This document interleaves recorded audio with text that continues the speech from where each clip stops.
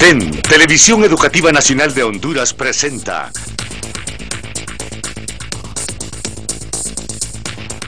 Economía y Cultura con Rolando Catán. Muy buenas noches, bienvenidos a su programa Economía y Cultura, que se transmite todos los martes por TEN Canal 10 y los miércoles en repetición a las 2 de la mañana. Una de las películas más eh, hermosas que se han hecho en los últimos años y de las mejores piezas de este célebre actor y director Woody Allen es Midnight in Paris, eh, Medianoche en París. Eh, Woody Allen dirige una película en la que el personaje principal parece encarnarlo y es este escritor fascinado con, con esa época de El París era una fiesta de Ernest Hemingway y Fitzgerald y, y todos estos eh, movimientos que se estaban dando en, en, la literatura que dio todo el esplendor al, al siglo XX, estaba eh, Jim Joyce revolucionando la novela, estaban los, los surrealistas eh, rediseñando, digamos, una, una concepción del, mundo y, del, y, de la plástica y del papel de, las, de la plástica sobre el mundo. Pero el fin último de la película era, alabar esos, esos pasados. Eh, algunos pasados muy bien escritos cuando, cuando son así tan grandes y maravillosos, pues sus protagonistas eh, dejaron eh, muy bien plasmado cada uno de los hechos, las relaciones, manifiestos, etc. Yo siempre me he preguntado que si ese carrito que sale en la, en la película de Midnight in Paris se me parara en una, en una esquina y me llevase a una época de la historia hondureña, ¿a qué época eh, me gustaría viajar? Y, y sin dudarlo, me gustaría visitar ese, ese periodo comprendido entre, entre el inicio de la reforma liberal hasta, hasta 1915 o, 1919. Eran grandes hombres todos los que, los que eh, formaban las diferentes élites eh, culturales, políticas, intelectuales, aunque, aunque con, con, muchas diferencias, pero estaban seriamente pensando la, la idea de, de un país. El día de hoy tengo eh, el gusto de tener a, uno de, nuestros mejores compatriotas, eh, con, eh, no sé si con la fortuna o, el infortunio de que, de que no viva en el día a día en nuestra realidad, pero siempre está muy pendiente y trabaja mucho por Honduras desde las oficinas de la UNESCO en París.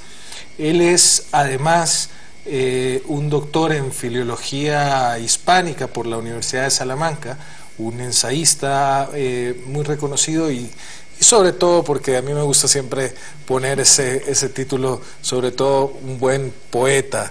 Eh, hablo de, de, José Antonio Funes, que también ha sido viceministro de Cultura y director de la Biblioteca Nacional.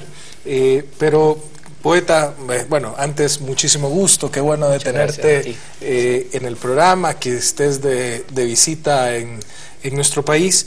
Y empezar el, programa preguntándote tú eh, uno de tus trabajos memorables y le pongo el adjetivo de memorables porque está en la memoria de, todos nosotros siempre, es esa investigación que realizaste sobre Froilán Turcios, que además eh, te hizo acreedor del Premio de Estudios Históricos eh, del Rey Juan Carlos. Eh, eso fue una inmersión en, en, una época, ¿no? Y alrededor de, de una figura. ¿Qué reflexiones nos puedes dar, digamos, para para aperturar el programa entre, entre esas distancias, porque yo creo que estamos viviendo una especie de centenario entre, entre esas épocas gloriosas eh, que hablábamos y, nuestra realidad. ¿Qué te encuentras en, el pensamiento hondureño y en la Honduras hace 100 años? Eh, en realidad, como lo has mencionado, eh, a finales del siglo XIX se forja la literatura hondureña. ¿sí?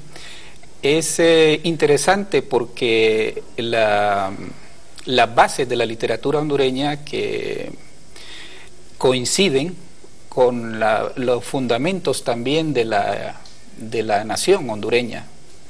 Es decir, eh, con el gobierno de Marco Aurelio Soto, hacia 1878, comienza también eh, a, forjarse una generación de intelectuales, sobre todo vinculados con, el romanticismo, eh, que comienzan a, pensar en, Honduras, a, exaltar eh, el nacionalismo hondureño para, con la idea de construir la identidad nacional también.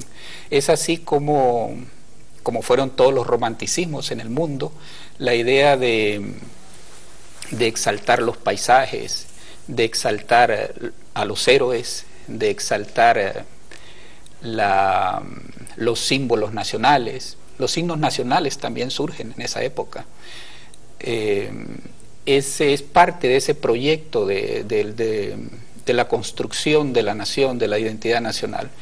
Y obviamente eh, hubo una generación importante de escritores, eh, sobre todo románticos y modernistas, que a pesar de todas las dificultades eh, que existían en la época. Si, las existen, si existen hoy, ¿cómo no sería hace más de 100 años? Eh, lograron publicar sus obras, lograron eh, sobresalir con una literatura importante ¿sí? Para el país, para, para la región centroamericana también, porque todavía estaba la idea liberal, la idea de la Federación Centroamericana, la idea de, de lograr reconocimiento internacional también como, país y lograr un reconocimiento de la literatura hondureña. Esto solo lo lograrán más eh, los modernistas.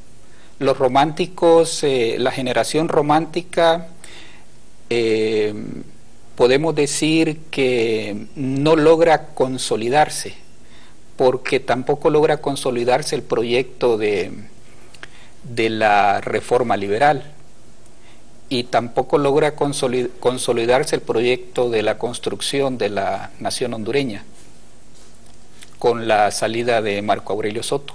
Sí, y de ahí cuando empiezas a ver, digamos, que, que la nación empieza a consolidarse o es una tarea pendiente. La nación es un proyecto todavía en construcción, ¿sí? digamos que hemos venido avanzando de época en época, pero la literatura hondureña ha venido acompañando también esa, esa época, eh, eh, digamos, ese proceso. Eh, existe, digamos, un símbolo que puede señalarse que que marca eh, precisamente la, el fracaso de la, de la, reforma liberal y es eh, la novela Angelina. ¿sí? La, el final de esta obra es el final de, de la, lucha entre la civilización y la barbarie. Y es una novela donde, donde vence la barbarie a la civilización y asimismo el, el, fracaso de la reforma liberal es, eh, se puede decir de alguna manera, el fracaso también de la, de la civilización contra la barbarie. Angelina se publica por Carlos F. Gutiérrez, que estando Policarpo Bonilla de, de, presidente. Eh, en, en, esa, en esa transición entre entre Policarpo Bonilla, el golpe de 1904 después y, finalmente el, eh, surge entre, entre toda esa, esa, esas luchas que no llegan a ser después las luchas intestinas de los 20, que ahí sí yo, creo que son, son tristes y lamentables, porque se ve mucho florecimiento cultural. Manuel Bonilla, Policarpo Bonilla eran, eran hombres muy cultos, eh, además de eso surge en, 1915 de nuevo la, Academia Científico-Literaria, el movimiento que se junta para celebrar los 300 años del Quijote, el teatro, o sea, preocupaciones muy, muy auténticas y, y, sobre todo, eh, poeta, la conexión de lo que se escribía y se pensaba en Honduras con lo que se empezaba a escribir y, pensar en el, en el continente. O sea, veníamos del desierto. Recuerdo una, un prólogo sobre, sobre Policarpo Monía que escribe Roberto Sosa y se le tocó predicar en el desierto y predicó en el desierto. Pero eh, sobre ese desierto empezaron a fundarse cómo llega esta, esta literatura de la nada a de repente estar en, en cúspides, porque sí estaba, digamos, en, en, en esa, en, esa atmósfera que flotaba en un nivel superior en el, en el continente, la voz, o, tal vez me equivoco. bueno, los finales, finales de los años 90 del siglo XIX, 1890 eh, por ahí, eh, digamos que comienza el surgimiento de es el surgimiento de, escritores de, la categoría de, de Froilán Turcios. Pero el escritor importante, digamos, antes de 1890, el que vincula el romanticismo, el que lleva el romanticismo a su nivel más, eh, más alto a través de su poesía, es José Antonio Domínguez. José Antonio Domínguez es un vínculo entre el romanticismo, que la mayoría de los escritores románticos eh, no lograron cuajar una obra importante, pero José Antonio Domínguez sí llegó con el himno a la materia, el himno a la materia, a, crear una obra que sería el eslabón que uniría el romanticismo y el modernismo. Con el modernismo surgen dos escritores eh, eh, muy importantes para Honduras, eh, para Centroamérica y también para Hispanoamérica, Froilán Turcios y Juan Ramón Molina. La época de la que me, hablas, eh, de finales del siglo XIX, fue muy importante para la publicación de libros. Es con los gobiernos de Policarpo Bonilla, sobre todo Policarpo Bonilla, que apoyó mucho a los escritores, comienza la mm, tipografía nacional a publicar libros de, los escritores. Y uno de los que más se benefició de, de, este, de este momento fue Froilán Turcios. Mira, sí, con revistas y eso, pero ya vamos a entrar a detalle eh, a ver un poco ese tema de, las, de las publicaciones, pero vamos a una primera pausa comercial. Estamos conversando con José Antonio Funes, poeta, historiador y académico. Ya regresamos, no nos cambien. ¿Qué tal? Continuamos con su programa Economía y Cultura en una plática sobre investigaciones histórico-literarias con el poeta, escritor, investigador, académico José Antonio Funes, todo un polígrafo, eh, José Antonio. Eh, dentro de, dentro de eh, lo que conversábamos en el segmento anterior, mencionábamos dos, dos hechos que aparentemente pueden ser contradictorios entre sí el, el, valor de un poeta como José Antonio Domínguez y el valor de las publicaciones.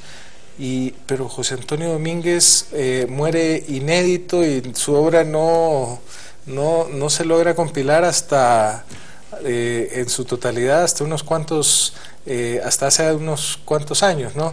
Eh, ¿cómo, ¿cómo, juega ese, ese papel o cómo funcionaban esas influencias en un país donde el libro empezaba a funcionar? Eran, eran los recitales, eran las famosas tertulias que también que se empezaron a, a, organizar. ¿Cómo fluía la, la influencia y cómo alguien se vuelve tan determinante sin ser, sin ser mucho Sí, empezando no existían los términos como bestsellers, quería decir sin ser un bestseller, pero sin ni siquiera tener libros en, circulación y esas cosas. Bueno, eh, yo creo que la llegada de Froilán Turcio desde Juticalpa a Tegucigalpa es determinante para, para la consolidación de, un grupo de, de escritores que que van a girar alrededor de, las revistas que publicó Turcios. Muy importante, por ejemplo, es la revista El Pensamiento, que el autor comienza a publicar desde 1894 hasta 1896. En la revista El Pensamiento, Turcios eh, publica ya pequeños relatos, publica poemas, publica pequeños ensayos al estilo ya modernista, que luego va a, utilizar o, que va a tomar de, de, esas, de esos aportes a esta revista para, para su libro Mariposas, que publica en 1896. Eh, había una amistad muy, muy estrecha entre José Antonio Domínguez y Juan Ramón Molina, que era, que era de, digamos, de la, de la cultura tegucigalpense, aunque había nacido maravilloso en ensayo. ¿Sí?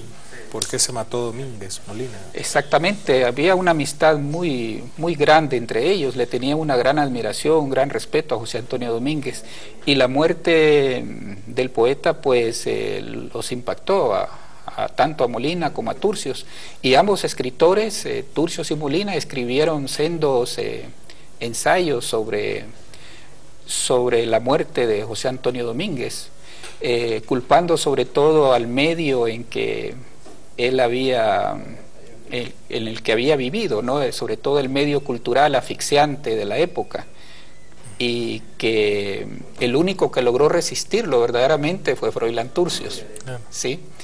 Porque Molina también, eh, terminó eh, su vida pues de una manera trágica. Casi suicida, ¿no?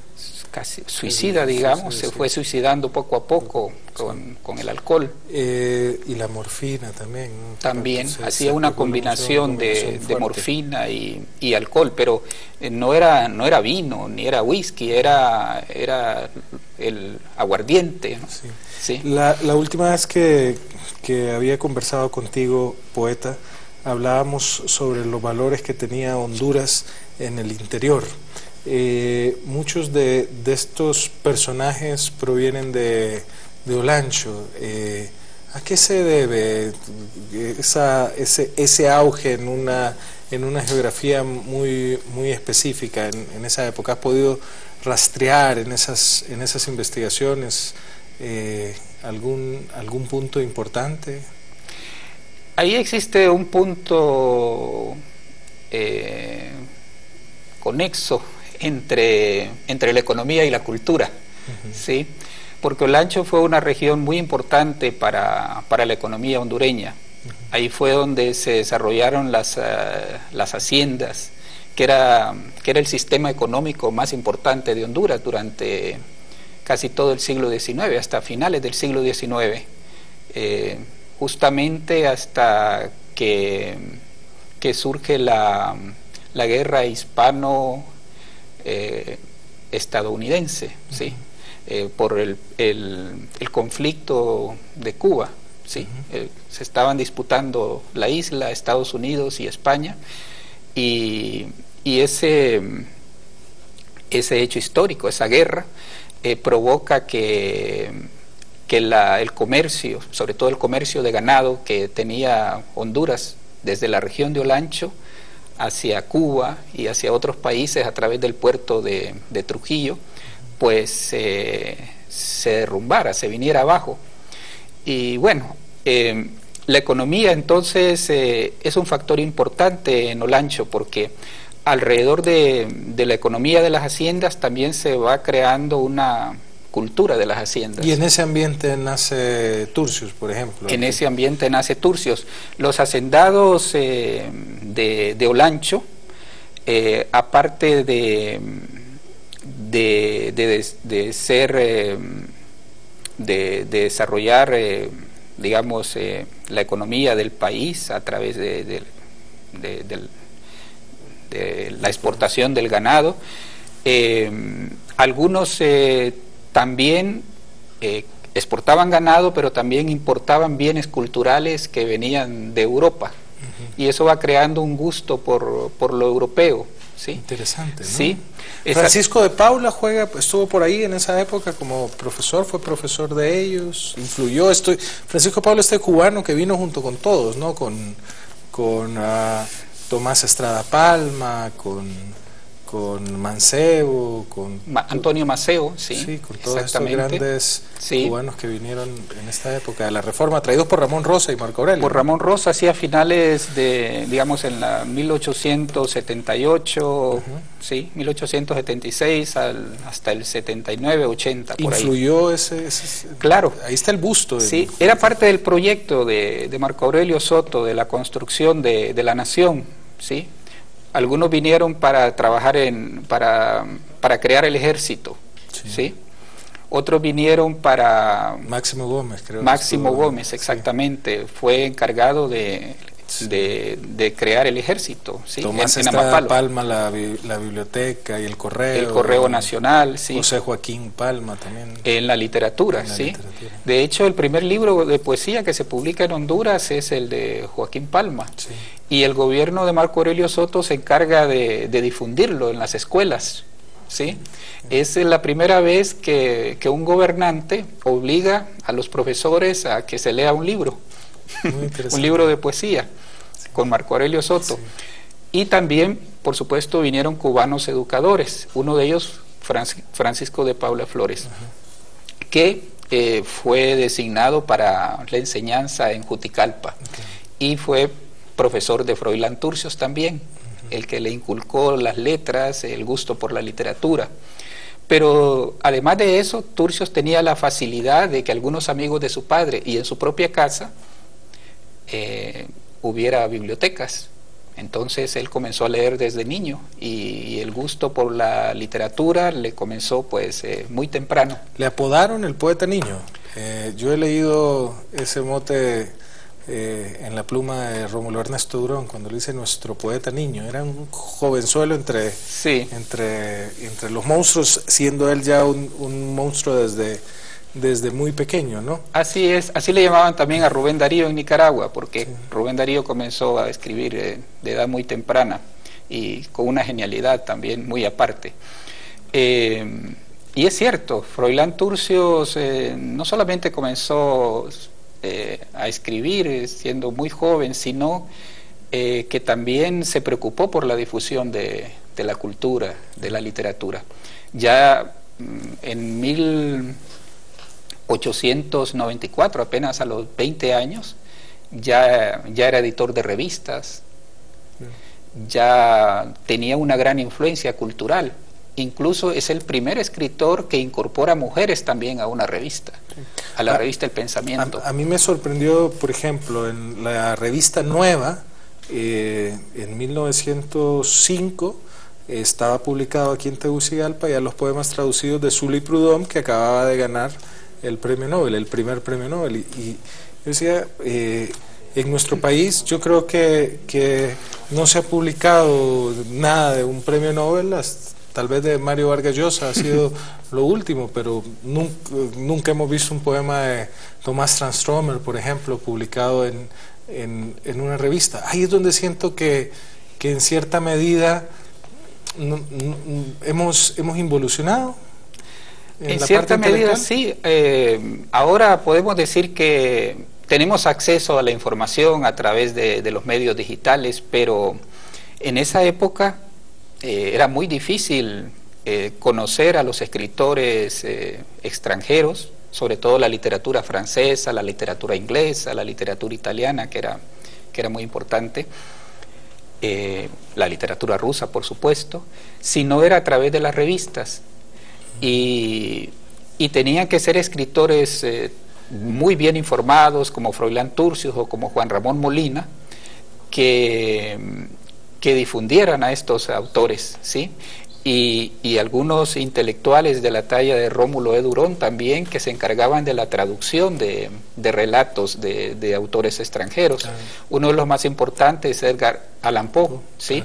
que influyó mucho también en la, en la obra cuentística de Froilán Turcios. Mm, eh, eh, ese, ese momento también, cuando hablas de la, de la traducción, cuando yo veo esa obra publicada en 1917 por Rómulo Ernesto Durón con la traducción de Poe, de Moore, de, de, Yo digo, eh, y ahora hay muy pocos libros o autores fuera de, los nuestros que se publiquen en, en nuestro país. O sea, eh, no hay, para hablar de los contemporáneos, no hay un libro de Phyllis Roth, eh, digamos, eh, traducido por, por, un hondureño y publicado aquí, ni siquiera Cabbages and Kings, lo, hemos, lo hemos traducido de uno de los más importantes escritores de lengua inglesa, que escribe una novela sobre, sobre nuestra realidad cuando nosotros no teníamos novela, porque, digamos, Angelina y esas cosas, pero con obras fundamentales, y, y caemos en, en, en ese olvido. Pero la pregunta, y, para adentrarnos un poco en, la temática, ¿por qué vale la, pena sumergirse en, la historia de, nuestra literatura? ¿Hay, hay un valor? Eh, ¿Crees tú que, es apreciada por, una generación eh, presente? ¿Qué está por, por develar ahí? Pero eh, como es una pregunta así digamos, de, artillería. Eh, vamos a dejar la, pausa comercial y dejar a nuestros, a nuestros televidentes con, todo el ánimo y las ganas de, escucharte. Estamos en su programa Economía y Cultura, platicando con el poeta José Antonio Funes. No nos cambie, que ya regresamos. Continuamos con su programa Economía y Cultura. Estamos con un poeta, pero también apasionado. Eh, estudió su, su, doctorado en filología hispánica y ha volcado muchas de, de, sus acciones de, en una verdadera voluntad al servicio de la patria. No hay otra voluntad más grande que construir la patria misma, ¿no? Eh, y dentro de, de, eso hay, hay, todo, todo un, un espíritu, un, una, una, motivación que puede ser percibida, y, y aquí tal vez tal vez vaya a ser cruel con lo que, voy a decir, a veces como un fetiche, a veces como, como lo, que te estoy diciendo, la construcción de la patria, eh, y, a veces como, como, como una función netamente académica. ¿Cuál es, cuál es el valor que, encuentra alguien que ha volcado su vida a, la investigación histórico-literaria, digamos, poeta? Bueno, eh, yo creo que es importante tomar en cuenta el pasado, tomar en cuenta la historia, para poder, em, para poder llegar a un presente en el que descubrimos que hay vacíos que, que en el pasado no eh, algunos eh, intelectuales lograron sortear de una manera muy, con, mucho coraje, con mucho entusiasmo, con mucha inteligencia, eh, con, con, un gran deseo sobre todo de, de, servir al país, de servir a la literatura. Eh, cuando nos referimos a, las figuras de Froilán Turcios y Juan Ramón Molina, sobre todo hay que tomar en cuenta que, estos escritores vivieron una época donde el país prácticamente estaba eh, incomunicado, ¿sí? incomunicado eh, al interior. ¿sí?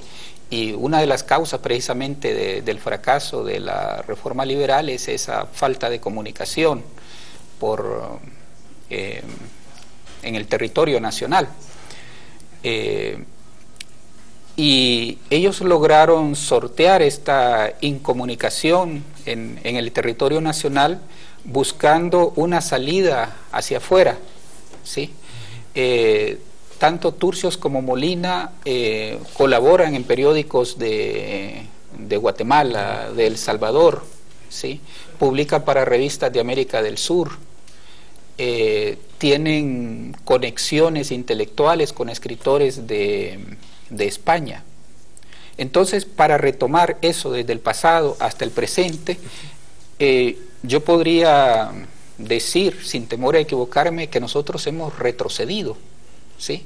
Porque antes existía esa especie de confraternidad, una especie de comunidad entre escritores, y esto lo creó el modernismo, ¿sí? Hay una carta precisamente de 1902 que, que envía Amado Nervo a Froilán Turcios invitándolo a formar parte de, un, de, una, de una red de intelectuales modernistas. Y, y Turcio lo acepta de, buena gana, ¿sí? a participar porque esa, esa era una de las actividades más importantes de ellos, el, estar como, formar parte como de una comunidad, de tejer redes de, de, comunicación entre intelectuales. Y eso es lo que nos falta precisamente hoy. Eh, en el momento en que el país está mejor comunicado al interior, en que tenemos facilidades para comunicarnos al exterior, pero no somos capaces todavía de salir de, de lo local. ¿sí? No, no somos capaces de dar ese salto hacia, hacia otras literaturas o, insertarnos en, el ambiente literario más cosmopolita, como lo hicieron ellos. Va una pregunta compleja y tal vez compleja por lo personal. Ya que hablabas un poco de, de, las comunicaciones epistolares entre, entre de Turcios, hay una hay una carta muy hermosa que le envía Rubén Darío a propósito de la, de la creación de Mundial Magazine, que le dice la revista con la que todos hemos soñado, así grande, para difundirse en todos lados y en París. Así es. Eh, tú estás en, en, París, digamos, y, y, Turcio se va a París y, colabora con, con, ah, con Rubén Darío en el, en el Mundial Magazine. Eh, poeta, nuestras letras o ese, ese París eh, era una fiesta, sigue siendo, sigue siendo esa fiesta, se, se percibe ese, ese ambiente que busca ser eh, un catalejo hacia, hacia, hacia el continente o más bien han caído los, los franceses o los, o los parisinos en, una especie de, mm, no sé, newyorkidad, digamos. Sí, bueno, en la época desde, desde mediados del siglo XIX hasta finales del siglo XIX, en la época de los simbolistas, de los escritores parnasianos, eh, París era la meca cultural del mundo. ¿sí? Todos los escritores soñaban con llegar a París, escritores de Inglaterra, escritores de Italia, eh, de América Latina, de Portugal, París era la meca cultural, La, que atraía. Hasta los tiempos de Cortázar, creo yo. Sí, digamos que hasta mediados de, del siglo XX, ¿sí? Todavía, bueno, París eh, fue importante también para, la, para el, logro de, de, la nueva narrativa hispanoamericana, ¿sí? A, a, final, a comienzos de los años 30, escritores como Alejo Carpentier, eh, Miguel Ángel Asturias, Arturo Uslar, Pietri de Venezuela, eh, crean obras que desde diferentes vertientes van a ser eh, el, la, digamos, la piedra angular para la nueva narrativa hispanoamericana. Es decir, y eso se perdió ya en París. Digamos que no se ha perdido, todavía llegan escritores eh, del mundo a reunirse a París, porque Francia es un, es un país eh, que, es muy generoso con, los intelectuales, acoge intelectuales de todo el mundo, ¿sí? sobre todo los que están sufriendo problemas políticos en, sus países. Y, muchos intelectuales como Milan Kundera, por ejemplo, eh, se han establecido en París y desde ahí han creado su obra, sus obras más importantes, y ahora escriben en francés incluso. Y algunos escritores norteamericanos, todavía ingleses, sueñan con ir a París, pero digamos que la, París fue la capital, ahora es que hay diferentes capitales, está Barcelona, en Barcelona también surge el boom, digamos que le quita ese protagonismo a París. Está Londres, está Nueva York, Ahora digamos que hay, hay diferentes metrópolis, ¿sí? hay diversas metrópolis y París es una de ellas. En, en, algún otro momento en nuestra historia logramos estar también conectados como en, como en esa época en la que rodeó a Turcios y a Turcios mismo. ¿Tú, tú has visto otro, otro momento importante? Mm, no. ¿No? Yo creo que ese fue el momento cumbre del cosmopolitismo eh, de la literatura hondureña. ¿Y eso estaba ligado a la calidad literaria de los escritores? Desde luego estaba ligado a la calidad. había tantos escritores modernistas, tantos imitadores de Rubén Darío, que eran pocos los, eh, los escogidos, aunque muchos los llamados. Eh, la obra de Juan Ramón Molina fue reconocida por eh, Rubén Darío en 1906 en la conferencia panamericana, la tercera conferencia panamericana, 1906 en Río de Janeiro. Ahí Rubén Darío reconoce a Juan Ramón Molina. Que va con Turcios, ¿no? Y con... Claro, eh, Froilán Turcios y Juan Ramón Molina van como, como secretarios, ¿sí? Fue creo que el señor Fausto, Fausto Dávila. el que presidió la delegación. La delegación, sí. Los demás eran secretarios. Ahí Darío dice que eran más importantes los secretarios que los delegados. y era cierto, ¿no? Ahí a esa conferencia asistieron muchos intelectuales de, de Hispanoamérica. Y después de esa conferencia, que fue como en julio de 1906, tanto Molina, Turcios y Rubén Darío se desplazan hacia Madrid. Allá se encuentran con José Santos Chocano. ¿sí? Bueno, hay muchas anécdotas. ¿sí?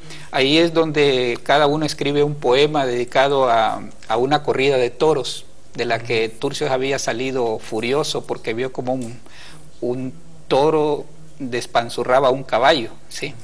y sacó una pistola para defenderse. Esto lo cuenta eh, el señor Arturo Kelly en lo que me dijo don Fausto. Pero bien, ahí eh, eso, ese, ese momento va a ser importante para, para, como una plataforma para Turcio y Molina en la literatura hispanoamericana y luego el salto a, París, a conocer a otros escritores que, que Turcio admiraba mucho desde, desde niño.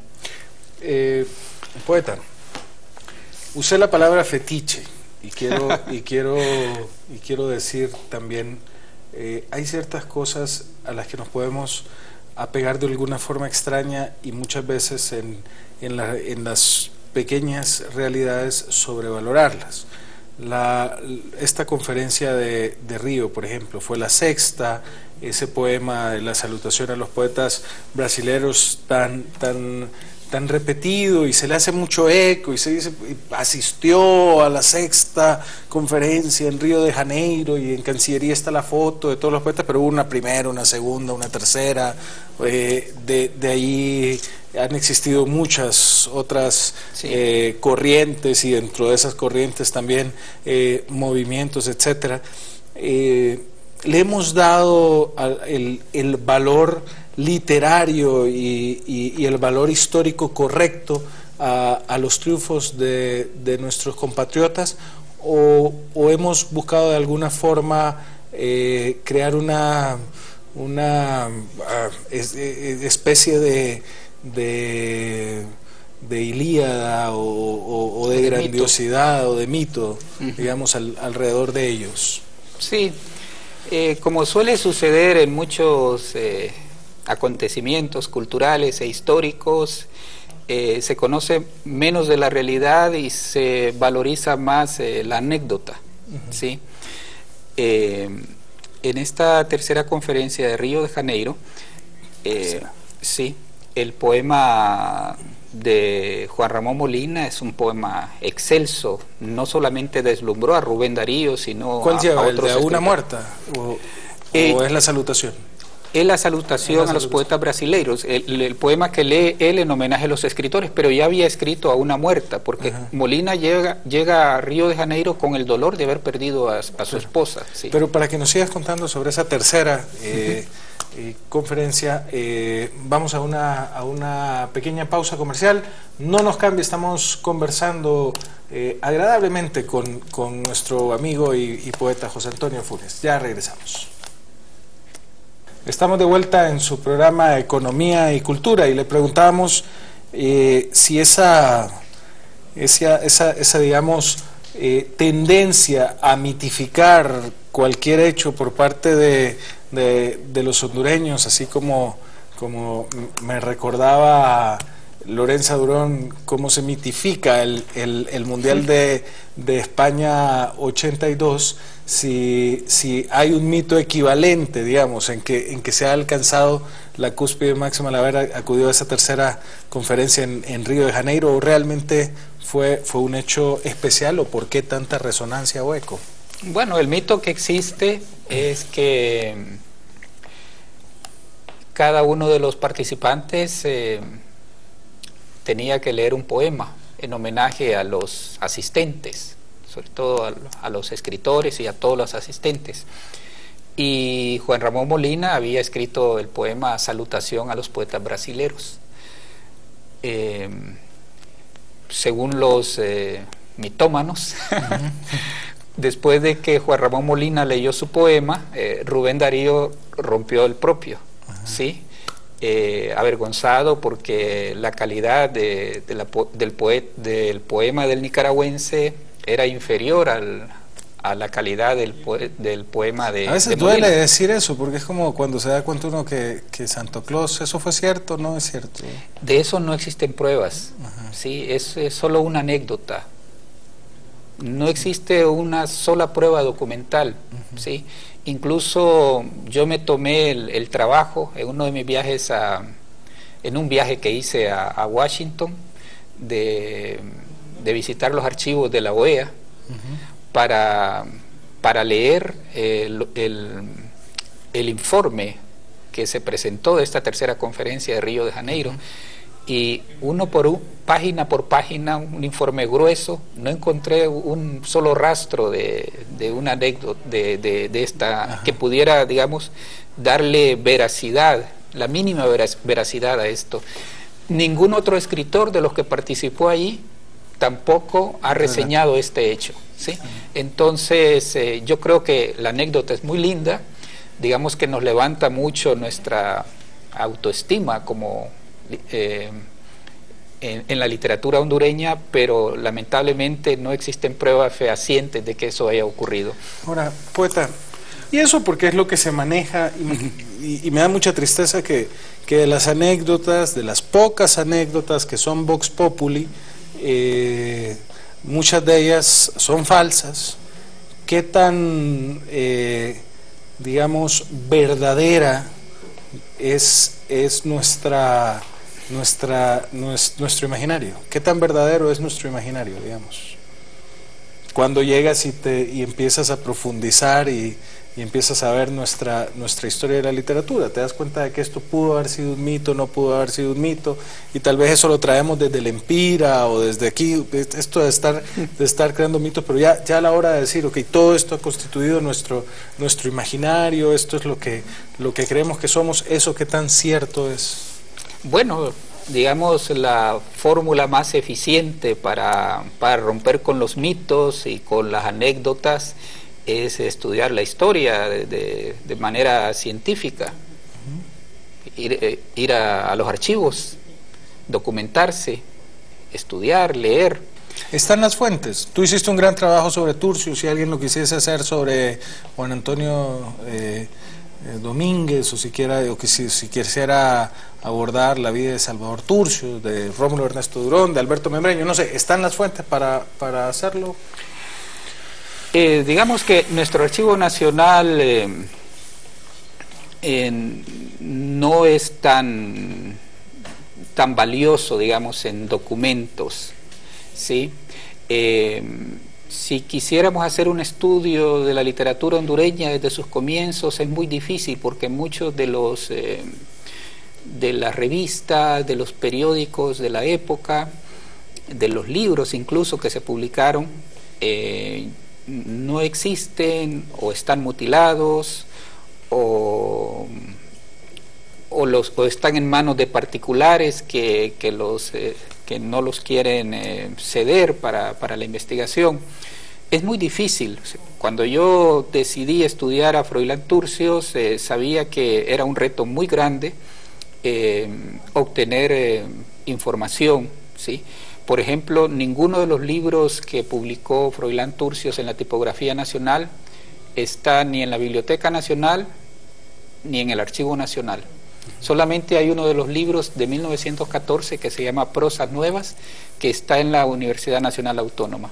El resto de los libros los tuve que encontrar bien en la Biblioteca Nacional de España, eh, bien en la Biblioteca Nacional de Francia o en o en el Instituto Iberoamericano de, Berlín. Incluso revistas como Ariel o, revista, la revista nueva de Froilán Turcio, que es de 1912, Finke, están en esas grandes bibliotecas bien custodiadas, mientras que aquí totalmente descuidadas o no existen. Vamos a, una pausa comercial, eh, poeta, para, para regresar y, seguir, tratar de, llegar a un punto de, de toda esta ausencia, cómo, cómo llevarla algo tan concreto con un camino tan pedregoso por medio. Eh, no nos cambie, ya regresamos con su programa de Economía y Cultura. Estamos de vuelta en su programa Economía y Cultura. Así como han pasado rápido estos 100 años en que ni cuenta nos dimos a qué horas perdimos tanto, se ha ido también la hora de, de, este programa. Pero tratemos de, de, concluir o darnos algún, algún mensaje que que nos quede eh, en, nuestra mente, porque hay un trabajo por hacer, evidentemente hay un gran trabajo por hacer, me imagino quien, quien tú enfocado en una investigación ibas viendo todo lo que, lo que se te iba quedando a, los lados y dices, bueno, es que si me sumerjo en todo no voy a terminar esto. Eh, tenemos una poca institucionalidad que que dé soporte o apoyo a la, a la investigación. El camino, el camino es, un, es, es, muy pedregoso, pero dentro de todo esto, eh, ¿cuál sería la ruta a la luz? Tú que eres de los que ha logrado salir avanti. Bueno, eh, la ruta es la académica. El Estado prácticamente ha perdido la institucionalidad cultural en los últimos años. Entonces hay que abocarnos a la ruta académica, a las universidades. La Universidad Nacional Autónoma, por ejemplo, está desempeñando un papel muy importante en este momento, está digitalizando eh, revistas, periódicos, publicaciones antiguas y las está difundiendo también por la vía digital, eh, por la vía de, del Internet. Entonces, eso es importante. La aportación que puede dar las instituciones internacionales para, para recuperar todo, todo ese material, toda esa documentación.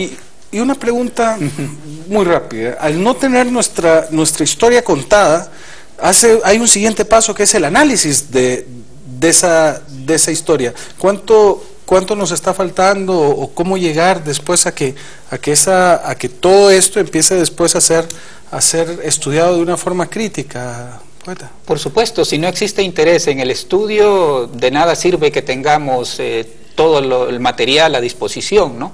Entonces hace falta eso, motivación también, pero la motivación debe ser eh, académica, las universidades deben encargarse de, de, estimular la investigación, ¿sí? De, crear medios para que los estudiantes eh, investiguen, o sea, de, obligarlos incluso a eso, a estudiar y a crear.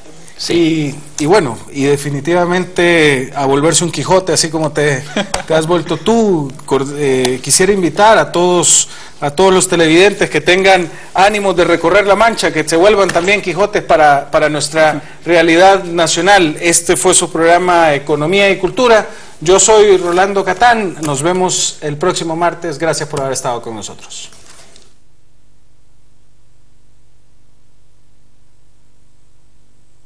Nuevo programa de Economía y Cultura.